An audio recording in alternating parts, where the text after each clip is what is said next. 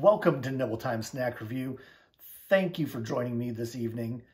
Uh, today, we're actually going to be reviewing one of the products we've done this company many times in the past, and it is Frito-Lay. So what they've done is they've released a new multi-dimensional flavor profile for two different flavors.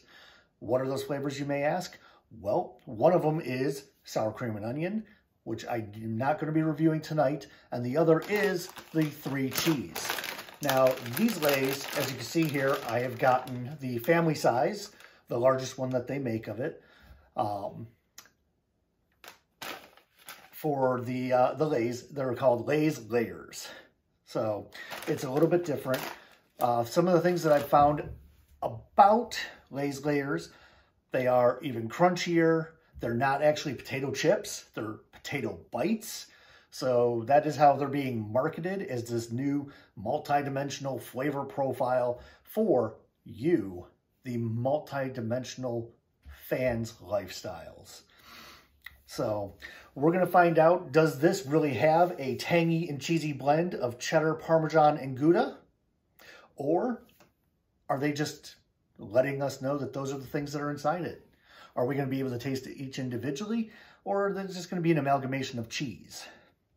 So we're going to find out also. Um, are these bite-sized, flavorful, and unlike anything Lay's has unveiled before? Or is it just more three cheese blends? Um, I will say this.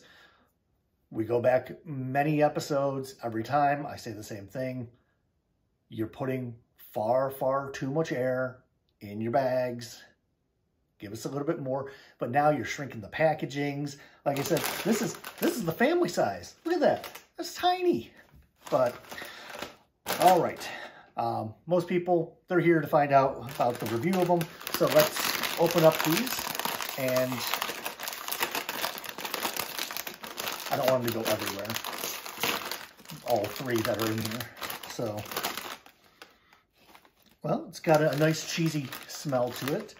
They really are, as you can see here, little bite-size potato bites, not chips.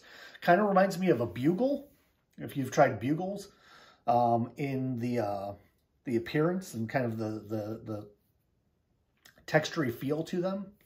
So it's definitely um, a cheese scent. So let's uh, let's go ahead.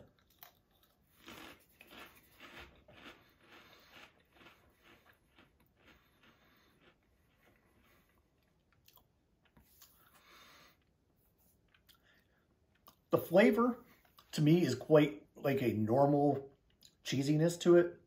So not like, I'm not getting all three cheese profiles like they're saying, um, but it is cheesy. The texture, 100%, not like a normal Frito-Lay chip. Um, it is very much like that of a Bugle. You know, that, that puffed crispiness to it. Um, so they were not lying. The, the multi-dimensionalness is there. Unfortunately, they're not the first ones to do it if you've ever had bugles. So, um, three cheese blend. Let's go ahead and give this a review. It's different. It's outside the box thinking from a company that puts everything into a bag.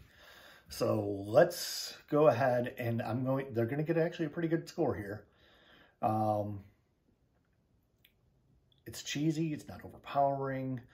It's got that nice uh, texture that the Bugles have. Um, I'm to go ahead and give it a, a 72. A 72.